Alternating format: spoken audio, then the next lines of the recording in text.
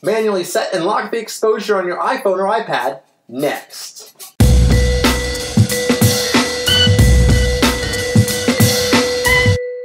Hi, I'm Chris Fry. Here on Chris Fry Tech Guy, you'll find tech reviews and tutorials like this one to help make technology work for you. In this video, I share how to manually adjust the exposure in the iOS camera app, as well as how to lock the setting. Let's get started.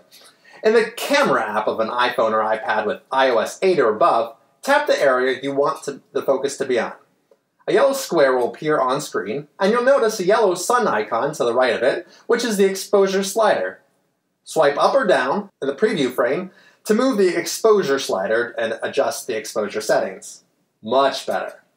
The exposure will only remain at this level as long as no significant changes occur in the preview frame or until the picture is taken.